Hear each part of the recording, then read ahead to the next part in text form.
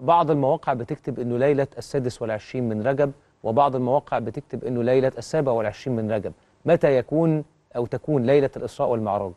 ليلة الإسراء والمعراج ال الذي عليه غالب والجماهير من المؤرخين ومن المحدثين إنها يوم 27 يوم 27 رمضان يبقى 26 بالليل. نعم. يبقى ست يعني يعني هي حاجة تجمع ما بين 26 و 27 مم. يعني ليلة السابع والعشرين اللي هي سيا- ليلة السادس ليلة والعشرين. السادس والعشرين ي- فنهار س- ي- السابع والعشرين يبقى نهار 27 نعم. يعني إذا أمسى يوم 26 وجاءت ليلة س- س- 27 يبقى هذه ليلة الإسراء والمعراج نعم. على كل حال الذي أطبق عليه المؤرخون وال- وأهل السير أن الإسراء والمعراج كان في شهر رجب وأنه كان في مكة قبل ال- الهجرة.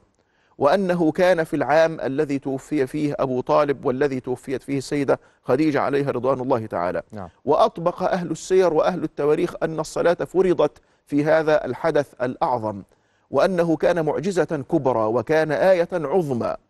وأنها جاءت لإكرامه عليه الصلاة والسلام بفتوحات إلهية عليا.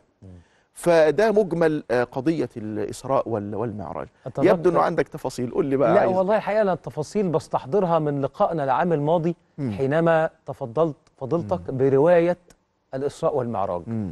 ففي هذه اللحظة سأصمت ونستحضر معا هذه السيرة الجميلة وهذه المعجزة العظيمة.